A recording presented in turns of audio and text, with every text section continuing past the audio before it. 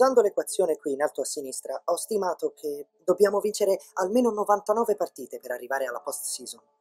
Dobbiamo segnare almeno 814 punti per vincere queste partite e concedere non più di 645 punti. Il codice integra tutte le informazioni che abbiamo per stimare i giocatori. Ok. Lo scopo è ridurre tutto a una singola cifra.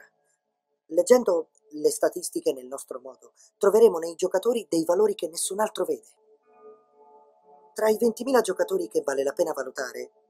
credo ci sia una squadra da titolo di 25 giocatori che ci possiamo permettere, perché chiunque altro nel mondo del baseball li sottovaluta. Eccoci qua, ben ritrovati alle fonti Asset Management TV Week, come abbiamo visto da questo uh, piccolissimo pezzettino di uh, Money Bell, cercheremo, cercheremo naturalmente di uh, trovare rendimento dove nessuno lo vede e soprattutto interpretare il mercato ad oggi. Do subito il benvenuto appunto ai nostri ospiti di questa puntata, Alessandro Arrighi, Head of Retail Distributors Italy GAM e non soltanto, anche Luca Chiarella, Sales Director Picte. Buon pomeriggio, ben ritrovati sulle fonti. Buongiorno, Ciao, buon pomeriggio. Eccoci qua, innanzitutto chiedo uh, un parere su questo pezzo che abbiamo visto e come bisogna interpretarlo sui mercati, e cioè cercare rendimento dove nessuno appunto lo vede. A chi rivolge la domanda? Solo A entrambi, prego Arrighi, inizia lei. Beh, eh, cercare rendimento vuol dire capire eh, come decorrelarsi d- dal mercato, come leggere l'indicazione che il, i segnali che il mercato dà, eh, capire, avere la possibilità di avere un proprio modello di analisi in modo da cercare di trovare la qualità nelle aziende sottostanti al proprio settore d'attività e sfruttare quello che per noi è la gestione attiva al fine di creare uh, una, un asset, un, una composizione, in questo caso parlavamo di squadre, ma esattamente questo, una squadra di titoli che in qualche modo riescono a uh, fare la differenza, a staccarsi, a discostarsi dalla media di mercato e quindi ad avere uh, una capacità di tenuta e di proiezione sul medio-lungo che è uh, più efficiente rispetto al momentum che possiamo analizzare uh, sul mercato. Quindi metodologia, capacità di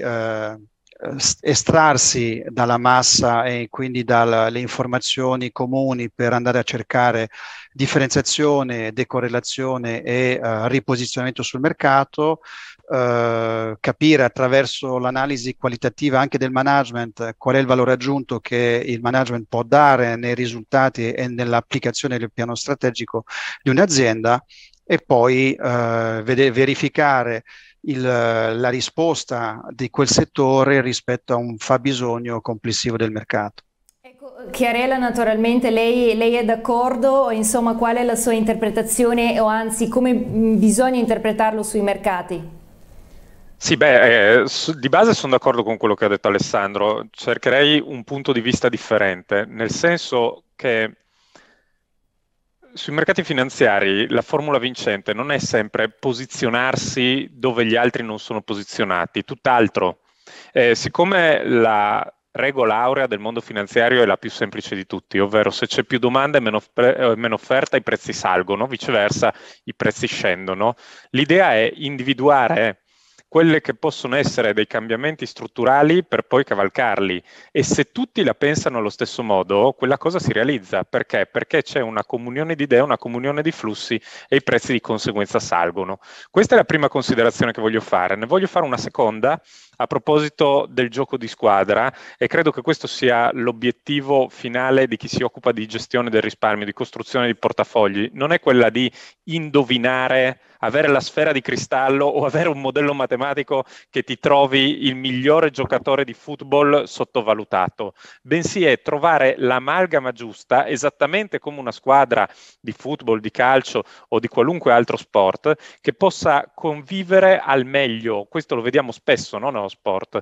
Sulla carta non hai la squadra favorita, eppure poi eh, vinci le partite. Perché? Perché la gestione condivisa dei giocatori porta a un risultato migliore. Quindi la mia formula è la seguente, la costruzione di un portafoglio non deve essere figlia di eh, operazioni da sfera di cristallo, bensì l'obiettivo finale deve essere quello di costruire un portafoglio resiliente nei diversi scenari e questo si ottiene combinando al meglio i diversi ingredienti. Ecco, um, adesso vorrei fare il punto, visto che questa tavola rotonda è, è, dedicata un po' agli asset tematici che sono estremamente interessanti, specie nel, nell'ambiente in cui ci troviamo. Arrighi, vorrei iniziare con lei per fare il punto su come eh, sono cambiati i consumatori. Se prendiamo in esame un periodo temporale degli ultimi eh, dieci anni, come sono cambiati gli stili di vita dei consumatori e naturalmente l'offerta dei beni eh, da parte delle aziende. Questo, fra le altre cose, è anche un fenomeno che abbiamo visto ancora ancora prima della pandemia, cioè prima eh, del 2020, post pandemia eh, diciamo un fenomeno ancora più marcato. Dunque ci, ci spieghi eh, lei come interpreta questo arco temporale, dieci anni? Eh, sicuramente se risaliamo al 2012 e guardiamo quello che è successo anche prima della pandemia, sicuramente ci sono stati dei grossi stravolgimenti di usi e consumi, e abitudini eh, da parte dei, dei, consumatori e da parte anche delle aziende che in qualche modo si sono adattate o a volte hanno anche provocato i cambiamenti. Eh, pensiamo a alcuni nomi come Amazon, come Apple, eh, come eh, Netflix eh, per parlare delle, delle, cose che ci toccano un po' tutti eh, nel, nel, quotidiano, eh, parliamo della, dell'esplosione dell'ibrido e, e la fine eh, del, del, motore diesel nei prossimi anni, così come eh, ovviamente poi tutto quello che è stato accelerato eh, dalla pandemia. Sicuramente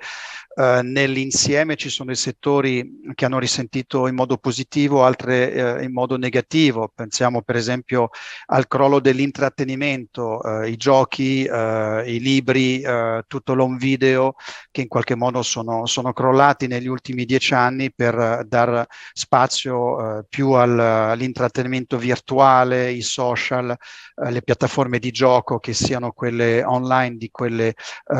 più diciamo come per esempio eh, le conosciute PlayStation e quant'altro, non volevo fare troppi nomi, eh, si è passato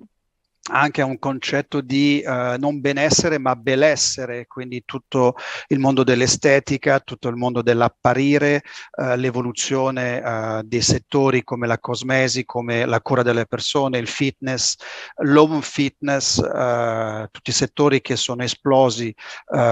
spinti anche dai fenomeni di massa come i social media che in qualche modo sono andati a porre l'immagine della persona in primo piano rispetto rispetto a altre tendenze, eh, dove si sono spostati i consumi, per esempio la morte dei piccoli centri eh, storici delle piccole città a favore degli outlet, a favore del, dell'accorpamento dei grandi centri, eh, diciamo, di, di, centri commerciali e quindi eh, da lì poi con la pandemia l'esplosione dell'e-commerce e quindi il trasferimento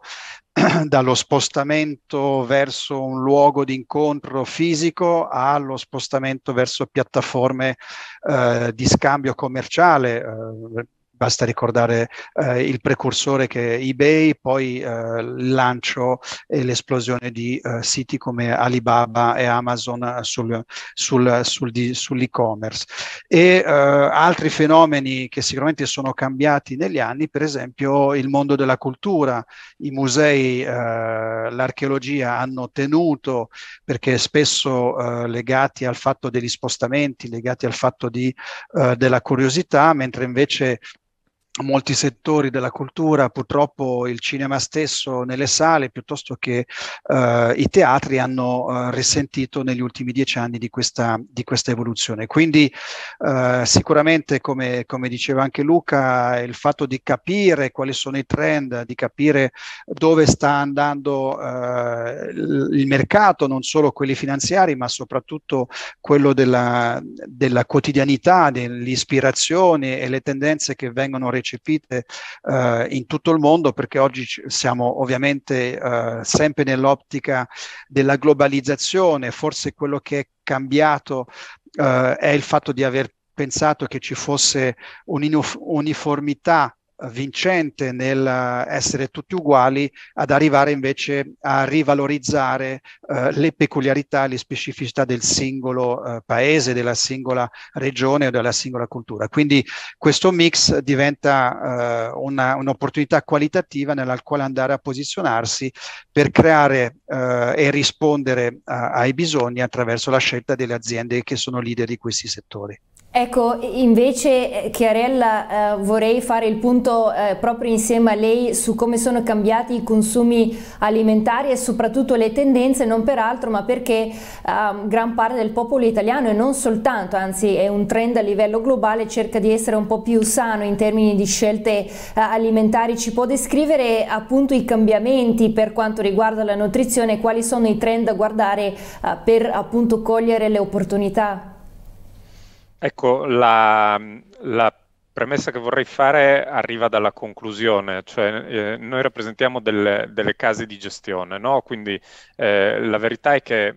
lo studio dei cambiamenti strutturali è funzionale alla ricerca di opportunità di investimento. Nello specifico in Pictet lo facciamo in modo scientifico da mh, una trentina d'anni. Che cosa significa? Significa che ci avvaliamo di istituti scientifici, come ad esempio l'Università di Oxford, per individuare i cambiamenti strutturali della società, eh, quelli che quindi avranno impatto sulle nostre vite. E perché facciamo questo? Per poi trovare le migliori opportunità di investimento, le migliori aziende che possono avere successo in futuro perché operanti in questi settori che poi eh, sottendono ai megatrend, ai cambiamenti strutturali. Eh, a tal proposito, io credo che il cambiamento più evidente a tutti, quello più noto, più chiaro, sia quello della sostenibilità. No? Tutti parlano di sostenibilità, e se io adesso scendessi per strada e andassi da una persona, affermassi e dicessi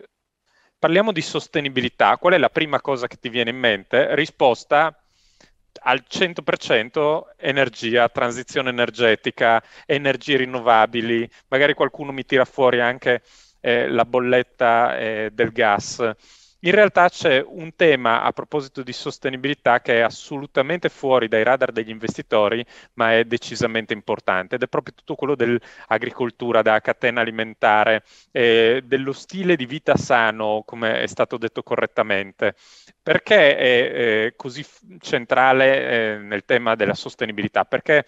un terzo delle emissioni su scala globale, un terzo delle emissioni di CO2 su scala globale vengono dal mondo dell'agricoltura.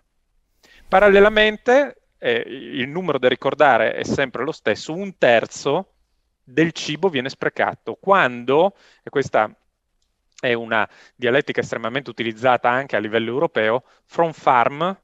to fork, che vuol dire dalla produzione al consumo. E quindi lo spreco nella catena alimentare è trasversale, più o meno il 40% dello spreco di cibo avviene durante la produzione un 20, 15-20% durante il trasporto e un ulteriore 40% di spreco avviene eh, dai frigoriferi, dai ristoranti, eh, nei supermercati o nelle nostre case. Questo è insostenibile e oggi l'agricoltura, che è uno dei settori più antichi al mondo, sta subendo una rivoluzione, una rivoluzione mai vista prima, grazie a chi? Alla tecnologia che interviene trasversalmente in tutta la catena. Allora, se penso ad esempio alla produzione e per non annoiare faccio degli esempi semplicissimi eh, chiari e tangibili. Per quanto riguarda la produzione, ormai ci sono dei sistemi satellitari di monitoraggio, non è più l'agricoltura dei campi del Medioevo, l'agricoltura è scientificamente controllata proprio per far eh, produrre al meglio e per far efficientare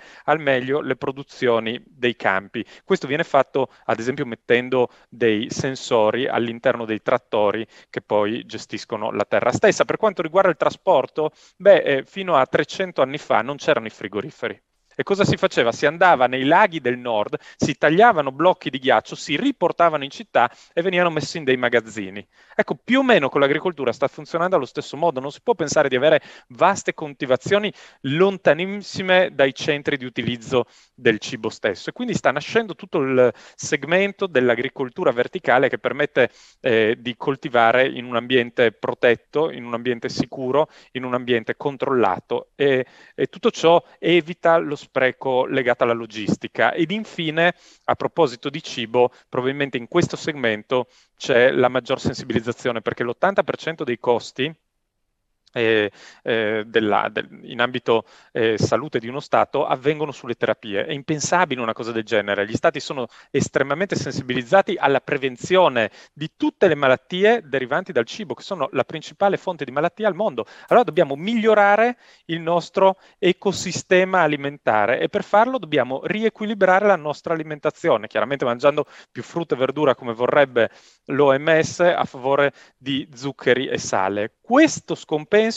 viene eh, colmato dalla biologia che oggi investe nei microorganismi. Mi spiego e chiedo scusa se sono andato un po' lungo, l'agricoltura di una volta eh, partiva dai macroorganismi, quindi noi prendevamo ancora oggi animali o piante, l'idea è che si possa invece partire dai microorganismi, dalle molecole per creare del cibo che sia eh, compatibile con la nostra alimentazione tradizionale e che lo completi a livello di valori nutrizionali. Sembra fantascienza, no, è realtà, esiste già ed esistono ristoranti che lo fanno in base al fabbisogno alimentare del singolo. Ecco, molto interessante il punto sugli, sugli, alimentari e soprattutto il ritorno nel passato. Um, invece con, con, Arrighi vorrei toccare il punto turismo, soprattutto adesso che eh, ecco, si spera che questa sia la fine della pandemia o almeno la, la, la parte peggiore dovrebbe essere dietro le nostre, le nostre spalle, almeno uh, si spera come detto. A questo proposito naturalmente tutti torneremo uh, a viaggiare e eh, probabilmente il settore del turismo potrebbe essere un driver di crescita nei prossimi prossimi mesi, anzi potrebbe essere un driver di crescita nei prossimi mesi secondo voi, Arrighi? Beh, eh, lo sappiamo tutti che insieme alla cultura il turismo è stato il settore più colpito dalla pandemia. Ora, la situazione diciamo, geopolitica internazionale in atto in questo momento non aiuta a dare una data di ripresa effettiva del turismo, almeno per quanto riguarda il turismo globale, la capacità di, uh, di viaggiare, di spostarsi. Sicuramente uh, oggi c'è eh, due aspetti, uh, differenziare il turismo domestico, locale, da quello, da, quello, internazionale. Quindi da questo punto di vista sicuramente l'Italia ha avuto una grandissima uh, fortuna la sua ricchezza principale, una delle sue ricchezze principali sicuramente la capacità, uh, l'ospitalità, l'accoglienza e l'infrastruttura turistica uh, dovuta anche a essere il paese con il più gran numero di siti del, su, dell'UNESCO e quindi di fortissima attrazione per l'estero a livello culturale, a livello ovviamente nostre, per quanto riguarda la nostra ricchezza eh, geografica, eh, alimentare, eh, di, di cultura che, che, conosciamo bene, eh, diversamente eh, per eh, gli altri paesi. Quindi eh, sicuramente stiamo tutti aspettando, eh, c'è stata una forte anche lamentela da parte del settore turistico per la, la mancanza di, di, aiuto, di supporti nei momenti più bui della, dei lockdown e quindi per il fatto di aver avuto un mancato guadagno, una, un volume di affari che era crollato drasticamente durante, durante le, le due chiusure e durante tutta la fase della pandemia. Quindi c'è un'aspettativa di ripresa importante, uh, si parla di uh, incoming quando si parla di uh, turisti esteri che vengono in Italia, sicuramente quello che manca molto in questa fase è l'outgoing, cioè la capacità di andare verso l'estero. L'italiano è sempre stato um, un, un, viaggiatore, un turista curioso nel, nel spostarsi, nell'andare a scoprire altri paesi, ma anche lì abbiamo, sappiamo da sempre eh, la capacità di molti paesi, di molti popoli, di molte nazioni di eh, andare eh, in giro per il mondo eh, proprio come retaggio storico eh, mi viene da pensare a, ai vecchi paesi colonialisti che comunque hanno sempre dato un'impronta rivolta verso, verso il viaggio, verso l'esterno. C'è sicuramente un'aspettativa molto forte del settore che è la spending revenge, l'abbiamo visto in queste prime fasi, anche se ancora non abbiamo riaperto tutti eh, diciamo, i varchi, ma il fatto di farsi del bene, di spendere un po' di più di quello che poteva essere la vacanza tradizionale, proprio come eh, eh, ricerca di beneficio dopo una frustrazione troppo lunga. Quindi c'è una grossa aspettativa eh, attraverso i viaggi esperienziali, che può essere il viaggio culinare, il viaggio eh, anche per, come, per, il benessere, come parlavamo eh, poc'anzi,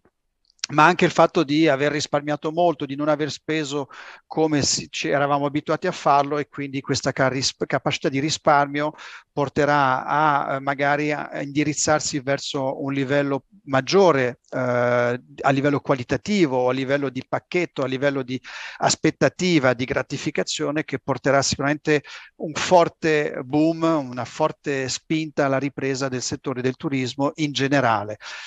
rimane eh, poi il discorso eh, del, del, posizionamento delle varie aziende e quindi capire quali sono quei settori, quelle aziende, per esempio le catene alberghiere piuttosto che eh, il settore eh, del, del, tradizionale del cibo che in qualche modo eh, sfrutteranno in pieno eh, questa voglia di, di, rivalsa dopo due anni e quasi oltre due anni di, di chiusura.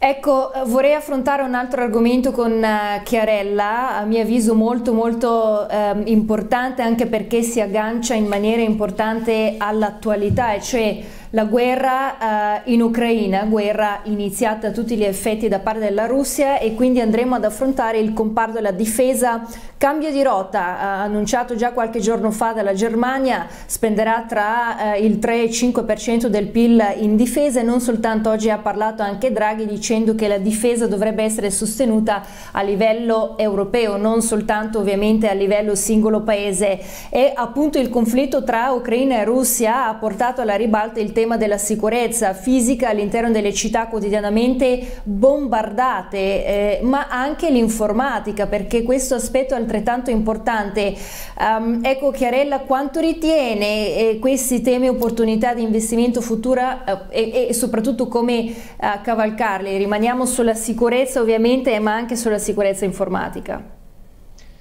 Sì, mh, mm,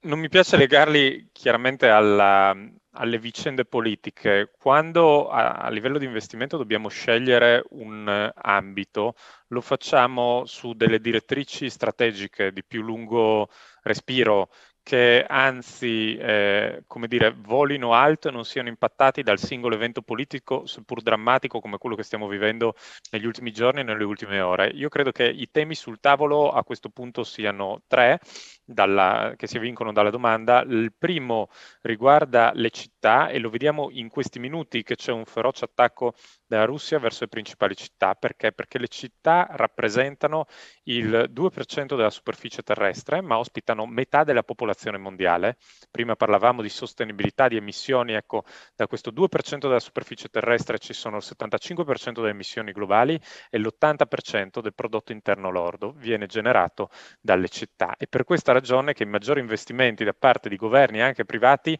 eh, gravitano intorno allo sviluppo delle città e qua mh, mm, mi ricollego a quello che ha detto Alessandro prima, che non diventano solamente un, po', un, un polo immobiliare, un polo di costruzione, bensì diventano un polo attrattivo per le esperienze delle persone. La eh, pandemia, facendo un passo indietro, ci ha sottolineato come le relazioni umane siano importanti. L'esplosione della tecnologia crea distanze sociali, cioè che cosa succede nei social network? Eh, e poi spiego bene il collegamento tra quello che sto dicendo e, e il tema della sicurezza. Con i vari social network, col mondo di internet, accade che ognuno di noi si concentra nel suo orticello facciamo una prova, andiamo su Google e scriviamo, che ne so, mm, sci, eh, montagna. Accade che da adesso alla prossima settimana su Google, su Facebook, su Instagram, ovunque mi escono pubblicità di alberghi in montagna, di piste da sci, eh, di scarponi da sci e così via. Cioè eh, la mh, tecnologia tende a concentrarti sempre sui soliti interessi e ad eliminare così quelli che vengono definiti i legami deboli, cioè tutta quella sorta di crescita culturale esperienziale che ti viene dal contatto con le altre persone. Da qui l'importanza delle città e da qui la volontà per eh, attualizzare il discorso da parte di Putin di concentrarsi sulle città. La crescita tecnologica ha come lato oscuro della medaglia la crescita degli attacchi informatici. A tal proposito, sempre per contestualizzare con le notizie di questi giorni, eh, Anonymous, l'avrete sentito i più al telegiornale, ha sferrato un attacco micidiale a molti siti governativi eh, russi. E, e da qui la necessità di sicurezza, crescente di sicurezza. Pensate che questo è un tema sul quale investiamo a partire dal 2006 e lo voglio declinare nei suoi tre aspetti principali. La sicurezza fisica, che chiaramente auspicabilmente non riguarda eh, solamente un regime bellico, ma riguarda la crescita di attrezzature per la sicurezza personale, penso ad esempio ai caschi, penso alle mascherine, la penso alla sicurezza nei luoghi di lavoro, penso alla sicurezza anche nell'edilizia e nella costruzione immobiliare e questa è la sicurezza eh, personale. La sicurezza, eh, definiamola così, aziendale nella logistica, i processi produttivi, e qua faccio molto riferimento non solo ai morti sul lavoro, bensì a, a tutte le nuove direttive che la pandemia ha impostato e quindi eh, se, se, ci pensiamo il Covid è partito da mercati alimentari non controllati ed infine quello che oggi è sotto gli occhi di tutti è sicurezza informatica. Vi porto un aneddoto, qualche anno fa, esattamente alla fine del 2017, con una delle principali banche italiane, abbiamo affrontato la possibilità di integrare all'interno dei loro sistemi informatici una eh, metodologia finanziaria che potesse favorire i consulenti nella eh, diffusione e costruzione di portafogli. Ecco, per fare questo è stata fatta una due diligence, è stata fatta un'operazione di ricerca col Dipartimento IT e ricordo distintamente che il costo totale dell'implementazione informatica era così diviso. 40% l'implementazione informatica stessa, 60% cosa vuol dire? Vuol dire che più del 100% del costo dell'implementazione informatica veniva destinato a che cosa? Alle operazioni da mettere in campo per la messa in sicurezza di questa operazione all'interno dei sistemi esistenti. Ecco, credo che sulla sicurezza informatica si giochi la eh, la, la sfida di merito di credito e reputazionale delle aziende del futuro.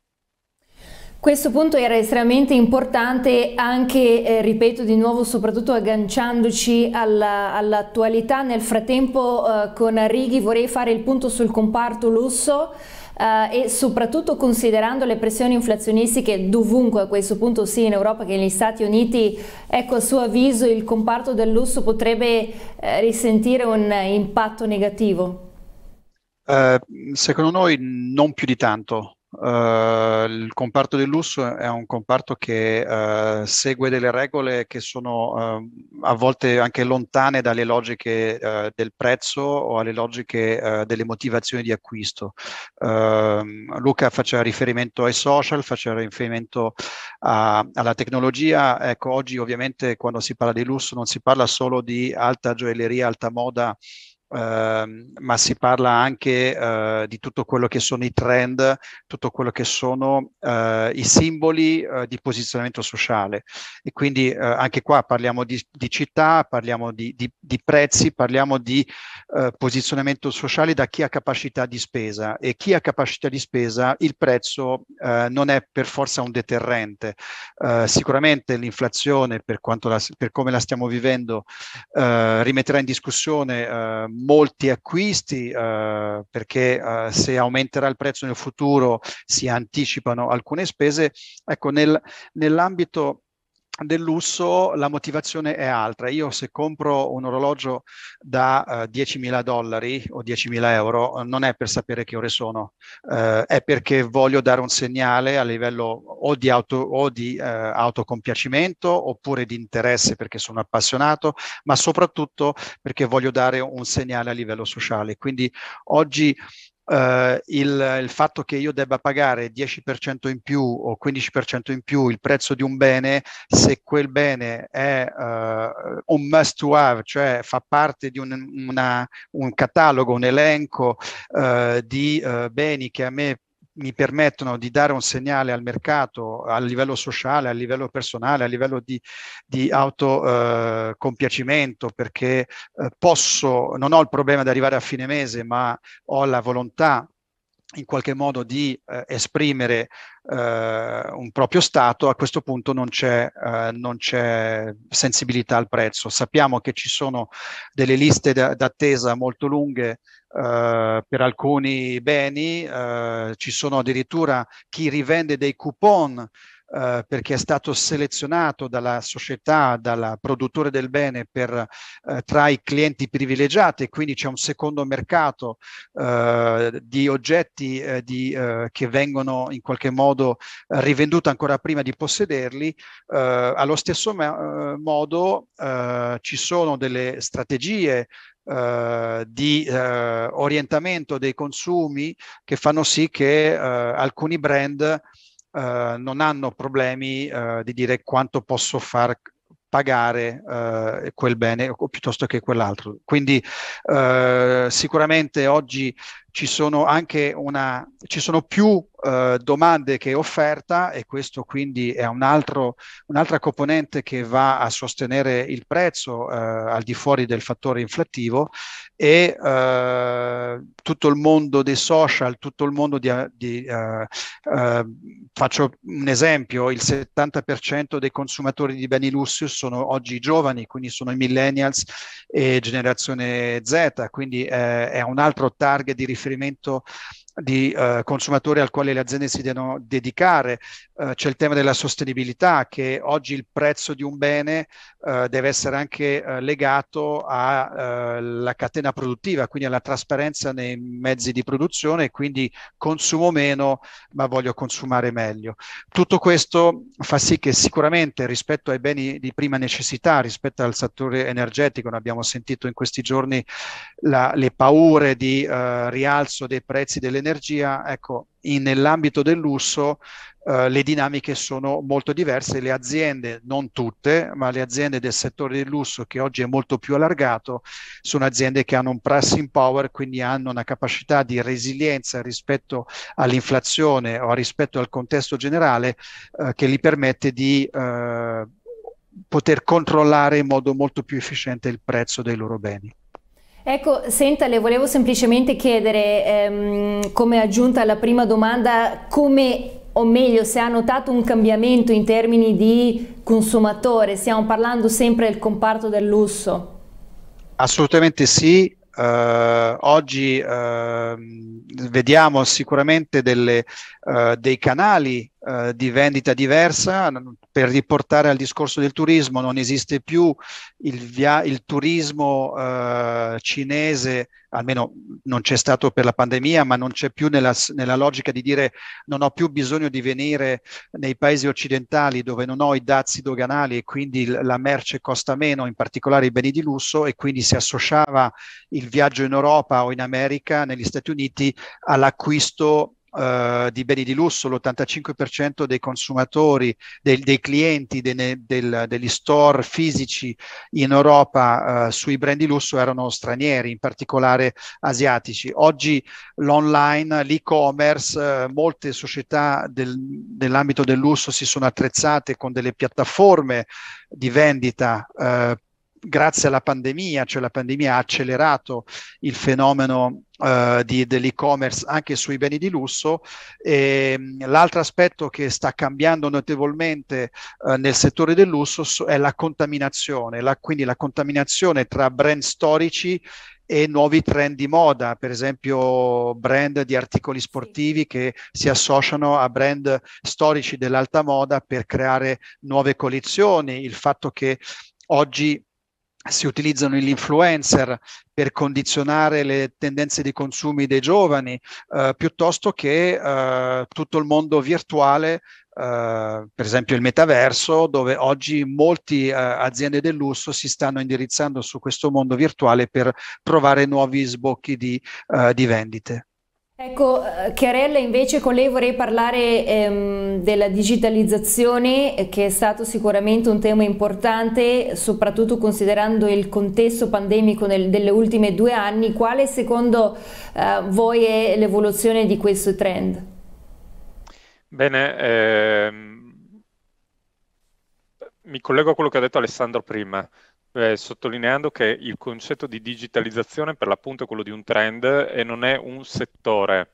Eh, un, un, settore è un eh, ben preciso numero di titoli chiaramente pensando alla digitalizzazione il settore più affine spesso si ritiene sia la tecnologia, non è così a livello globale. Eh, la digitalizzazione è un trend che sostanzialmente è rappresentato dalla dematerializzazione dell'economia, il fatto che eh, sempre più ci sia uno sviluppo informatico e di conseguenza un mondo virtuale nel quale fare una serie di operazioni, serie di operazioni che certamente stanno in ambito tecnologico, ma stanno anche ben nell'ambito dei consumi, penso a tutti i metodi di pagamento, stanno nell'ambito eh, dei servizi, stanno nell'ambito della salute, penso alla telemedicina, alla scuola, a, a, a distanza dei ragazzi, insomma abbiamo imparato ad apprendere a vederne la crescita, all'intrattenimento, eh, alle piattaforme no, di, di, streaming di film o di eventi sportivi. Questa è la digitalizzazione e quindi è agnostica dal punto di vista certamente geografico, perché c'è tanto in Italia quanto in Germania, quanto negli Stati Uniti, in Cina e in Giappone, quanto settoriale. Se devo eh, buttare lo sguardo in avanti, probabilmente il più grande trend che abbiamo sotto mano e sul quale noi personalmente abbiamo iniziato a investirci, a parlarne in modo consistente quest'anno è certamente quello del metaverso, che altro non è che un po' l'evoluzione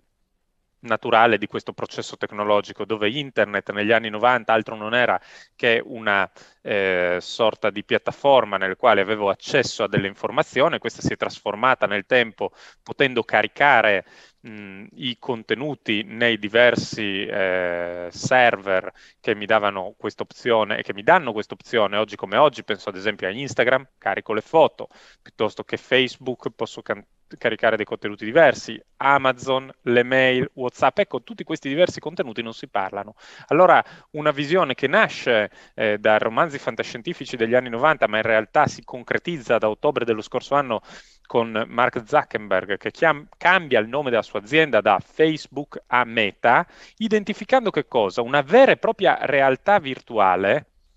dove la parola chiave è interoperabilità cioè l'idea che tutti questi contenitori che ho descritto possano parlare tra di loro in uno spazio virtuale e in questo spazio virtuale io posso avere accesso ad esempio attraverso un avatar che mi rappresenta, attraverso un visore, attraverso dei guantini e questa visione del futuro tecnologico e digitale è stata abbracciata da tutti i colossi del web. Faccio un esempio, Microsoft ci è entrato a gamba tesa facendo un'acquisizione da 70 miliardi in questo inizio anno, ha risposto Sony con un'altra da 4 miliardi. Non parliamo di Facebook che col trimestre scorso ci ha investito 10 miliardi per lo sviluppo del metaverso o Apple che a fine anno eh, produrrà il, i, suoi, i loro propri eh, visori, ma nel frattempo ha dovuto alzare gli stipendi degli ingegneri informatici per stare dietro al passo dell'evoluzione tecnologica degli altri colossi. Che cosa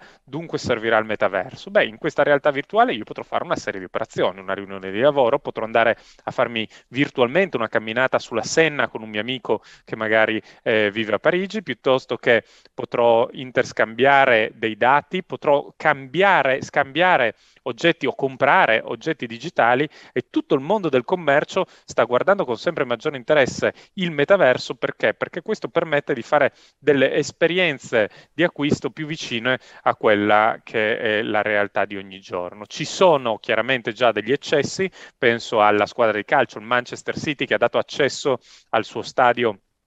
virtuale, penso a Nike e Adidas che hanno registrato il loro brand nel metaverso, fino a penso a qualche stravagante miliardario che si è comprato uno yacht da 650 mila dollari sempre nel metaverso, a Verratti, il calciatore del Paris Saint Germain che si è comprato un'isola, ma è chiaro che è una storia tutta da scrivere dove i più pessimisti vedono tassi come Bloomberg, i più pessimisti vedono tassi di crescita annualizzati tra il 40 e il 50% da qua al 2025.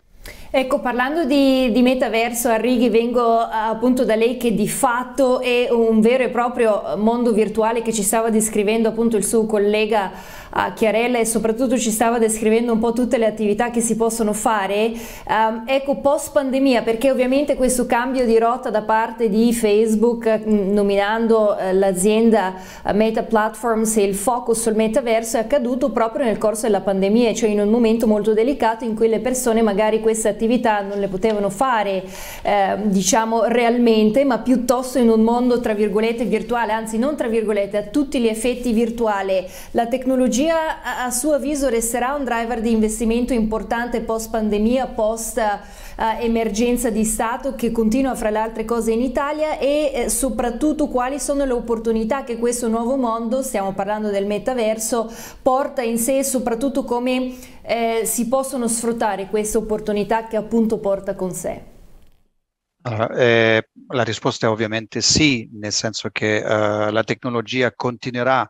a essere un motore di crescita e di evoluzione. Uh, la nostra visione è proprio quella, cioè di non uh, andare a investire sulle aziende che, o sui temi che fanno della tecnologia un punto d'arrivo, ma, d'arrivo, ma bensì di trasformazione. Infatti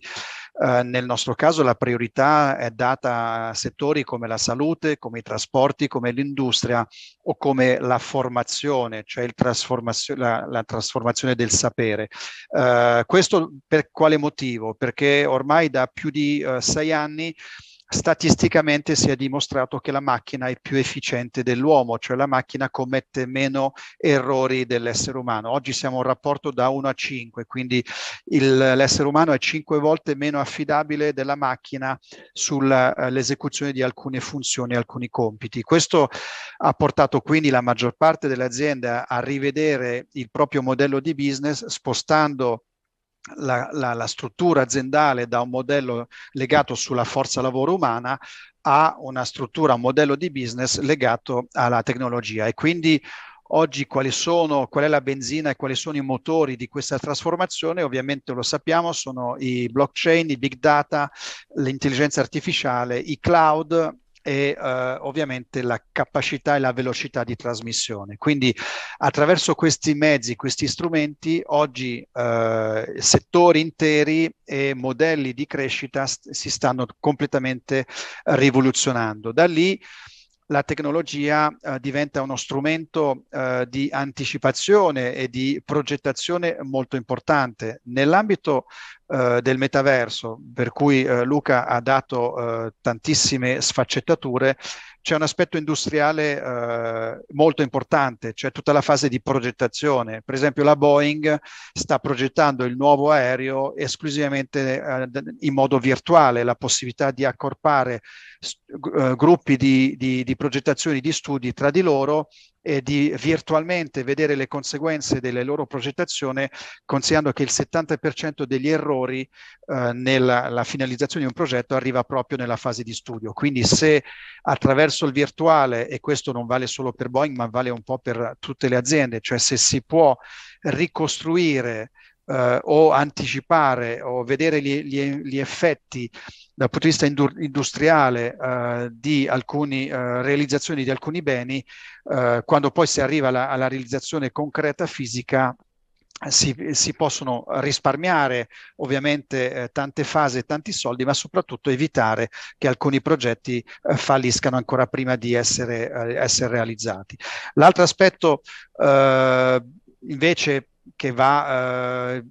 che può diventare una problematica, eh, dal, soprattutto dal punto di vista sociale e dal punto di vista psicologico, è proprio la trasposizione nel metaverso, cioè il fatto che molte persone si stanno annullando eh, socialmente nella vita reale per ricrearsi eh, un mondo eh, per loro perfetto, cioè eh, spendendo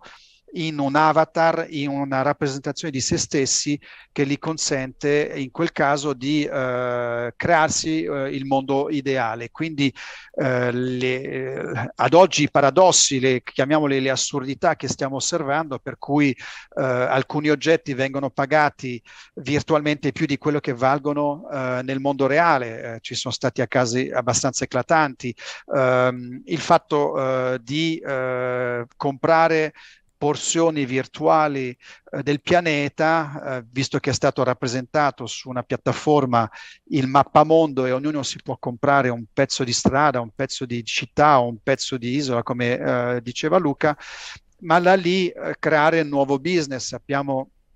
nelle sfilate, eh, visto che parlavamo del lusso dell'alta moda, molte case di moda hanno creato degli spazi di showroom virtuali, creando anche delle collezioni eh, virtuali per gli avatar in modo da poter eh, sfilare Uh, sul, sul, sul, metaverso. Ricordiamo uh, alcuni concerti che sono stati dati su delle piattaforme di gioco, uh, ricordiamo il, l'esplosione del mondo dell'arte virtuale, gli NFT, che sono dei certificati univoci che in qualche modo danno un valore tangibile a qualcosa di immateriale. Ecco, Sicuramente oggi bisogna fare i conti con uh, una trasformazione uh, molto forte che sicuramente la pandemia ha accelerato uh, e lo sappiamo tutti, è ormai conclamato, cioè ci stavamo arrivando, probabilmente avremmo messo qualche anno in più, la pandemia ha anticipato molti fenomeni che oggi dei quali bisogna tener conto per capire le tendenze eh, sia sociali che di consumi che di crescita di produzione che ci, che con, ci coinvolgerà nel fu- prossimo futuro. Ecco, ultimissima domanda per uh, dottor Chiarella, um, ovviamente legato alla tecnologia e non solo, c'è un tema di fondamentale importanza che è eh, quello appunto energetico. Si parla molto di transizione energetica legata anche alle tematiche ESG, questo è il tema di gran lunga più pubblicizzato negli ultimi anni, ne abbiamo parlato veramente alla lunga anche qui sulle fonti. Tecnicamente come operate la uh, selezione dei sottostanti e cambia qualcosa? Uh, post guerra in Ucraina sotto questo punto di vista? Bene, grazie della, della domanda. Secondo me la risposta eh, va declinata in tre punti. Il primo, il più evidente a tutti, e forse oggi ridondante, ma vale la pena sottolinearlo, ovvero la necessità. È chiaro a tutti che dall'antropocene, quindi da, da, dall'era dove l'uomo con le sue attività è il principale contributore delle emissioni di CO2 al mondo, cioè dal 1950 ad oggi qualcosa sia cambiato. Questa esplosione nelle emissioni di CO2 non è sostenibile perché, e questo invece ce lo dicono eh, la Greta Thunberg, DiCaprio e qualunque forma di influencer sul tema oltre chiaramente a supporto di tutti i dati scientifici, perché il surriscaldamento del pianeta non è sostenibile perché ha degli impatti, la derivata seconda di questo surriscaldamento è la perdita di forme di vita, la perdita di biodiversità, effetti, eh, cataclismi. Eh,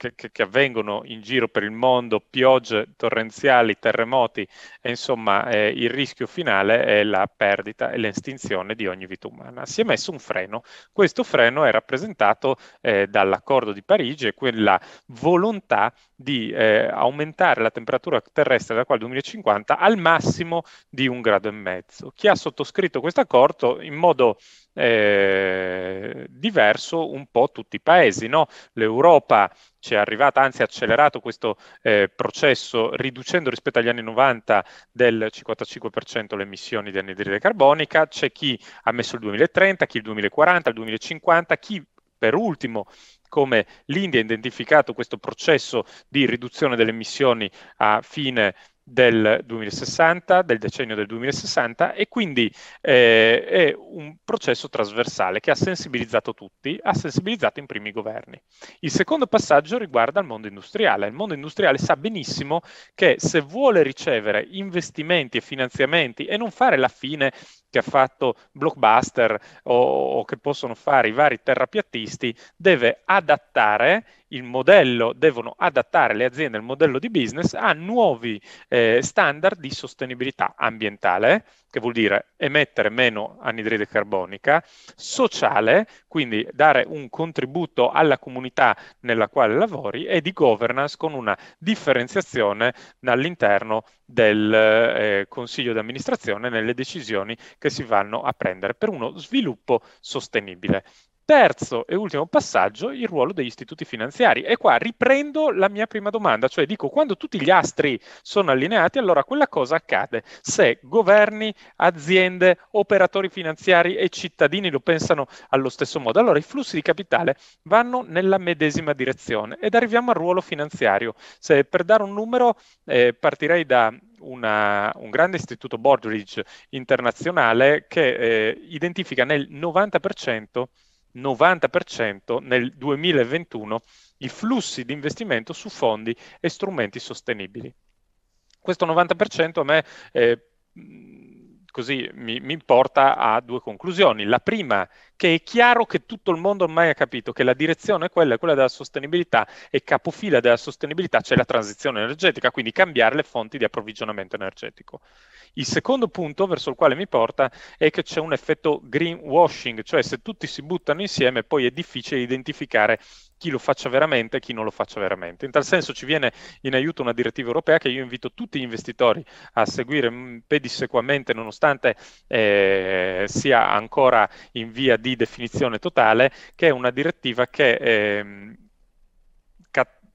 crea una eh, categorie differenti di fondi di investimento in base al loro impatto ambientale, sociale e di governance e lo fa sostanzialmente secondo tre articoli, il 6, l'8 e il 9, dove il 9 è il non plus ultra in campo della sostenibilità e rappresenta i fondi a impatto, quelli che probabilmente rappresenteranno il futuro della finanza e quelli che aiuteranno a fare questo passaggio di transizione energetica e non pesare troppo sulle casse governative e dei privati. Grazie mille, grazie mille per questa spiegazione altrettanto importante. Ringrazio i nostri uh, ospiti, Alessandro Righi, Head of Retail Distributors Italy GAM e naturalmente Luca Chiarella, Sales Director uh, Pictet. Grazie ad entrambi, buon pomeriggio e alla prossima occasione. Grazie, grazie a voi e buona continuazione. Grazie. Ciao, arrivederci. Arrivederci. Noi ci lasciamo per brevissima pausa pubblicitaria, come sempre rimanete con noi sulle fonti, segue l'apertura di Wall Street e non soltanto. Aggiornamenti su tutto ciò che accade in Ucraina, rimanete con noi.